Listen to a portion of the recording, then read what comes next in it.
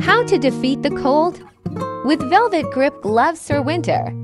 With a reflective strip to increase safety and the ability to use your phone with them, I'm set for winter link in bio